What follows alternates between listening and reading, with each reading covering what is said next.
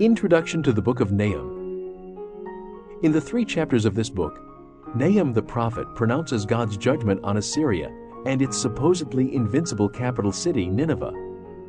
During Jonah's time, Nineveh repented of her sins and God spared the city. Not long after that, however, Nineveh reverted to its extreme wickedness, cruelty, and pride. And then in 722 BC, Assyria crushed the northern kingdom of Israel. Nahum prophesied Nineveh's fall sometime between 663 BC and the actual destruction of Nineveh in 612 BC. Notice as you listen how the book of Nahum reminds us that God sovereignly rules over all the earth and that his righteous standards apply to all people.